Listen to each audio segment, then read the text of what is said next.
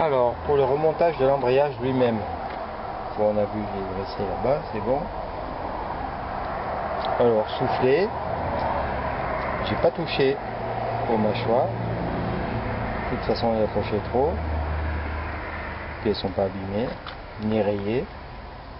Alors, l'important, vous voyez sur cette face, il n'y a aucun marquage. Sur cette face, il y a un X là, un X là. L'important, c'est le X vers vous, vers l'extérieur. Et on positionne. Et c'est là qu'il faut compresser donc avec les deux mains. Si j'y arrive, en plus j'ai jamais essayé ni à vide, ni rien, ni autrement. Et ben mon vieux, on n'est pas dans la merde. Et pourquoi que ça rentre pas?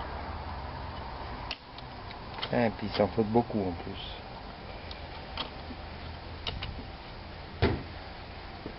Mais ça doit rentrer. Ça y était, ça doit y aller. Trop de travers peut-être. Bon, je vais faire. Je vais. Ah oui, la ferraille qui vient coincer en dessus là. Je vous montrerai ça après. En fait, il vaut mieux, voilà. Le tenez serré à l'extérieur et vous le rentrez et c'est nettement mieux. Et je vais vous montrer pourquoi.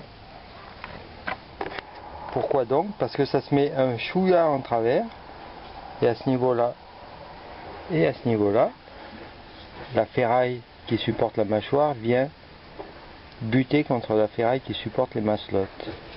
Voilà pourquoi. On va un peu s'il tourne.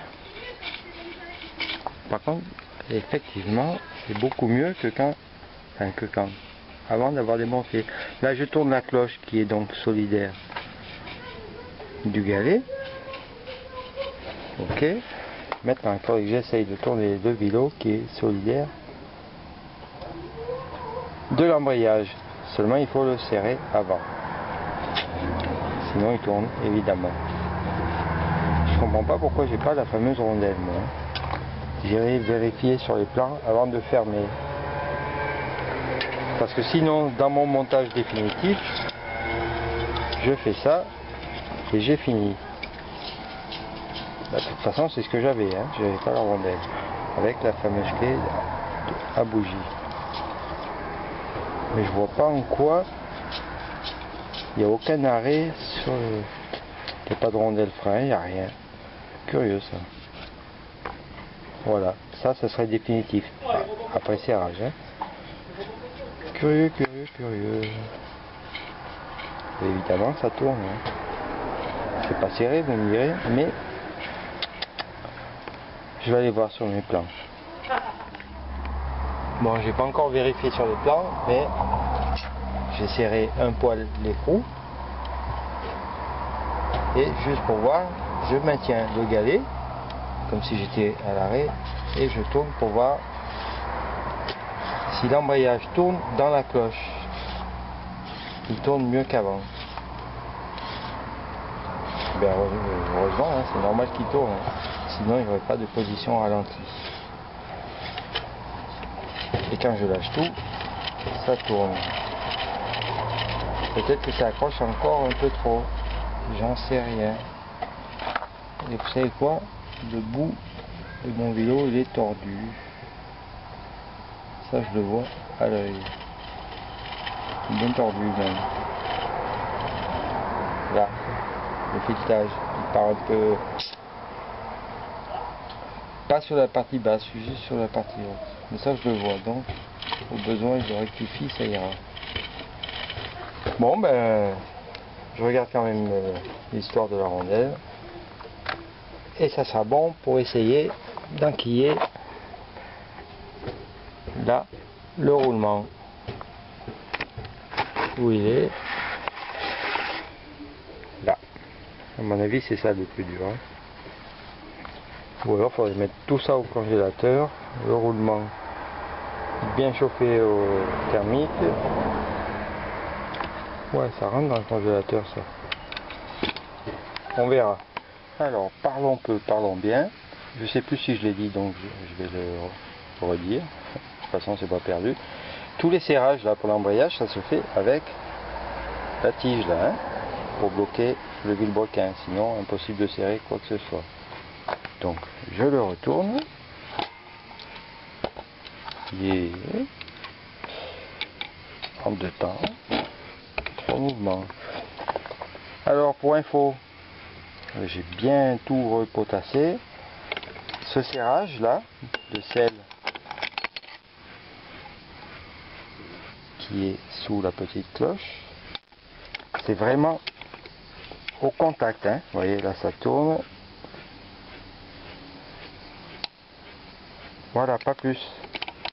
C'est vraiment au contact. Alors, c'est l'écrou avec la petite entretoise dessous. C'est au contact, pas plus. Sinon, sur, les couples de serrage, sur la RMT, c'est marqué 0,8 mètres kilo. Bon, ça c'est fait. Je remets ça. Je vais reposer mon embrayage, mais comme vous l'avez déjà vu, je vais l'interrompre. Voilà qui est fait. Donc, rappelle toujours les croix apparentes. Là. Et là. Bon, je suis en train de poser des questions sur le forum. J'ai eu une seule réponse pour savoir s'il fallait obligatoirement mettre la rondelle Grover ou, une autre hein,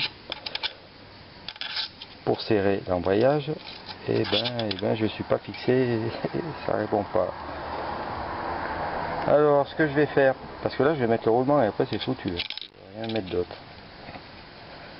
Alors, apparemment, il y aurait des, éclatés avec rondelle Grover et sans rondelle Grover les savoir. Et moi, j'en avais pas à l'origine au démontage. Par contre, j'ai des photos où il y en a. Je vous les ai mis sur le forum. Philippe aussi. D'ailleurs, c'est la sienne.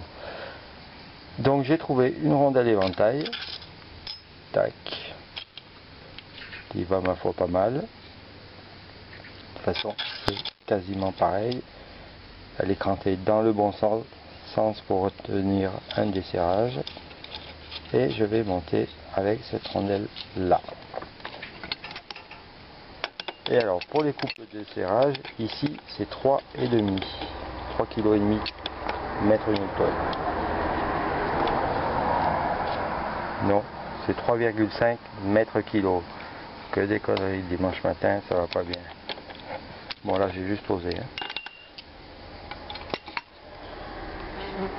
c'est tout bien rentré.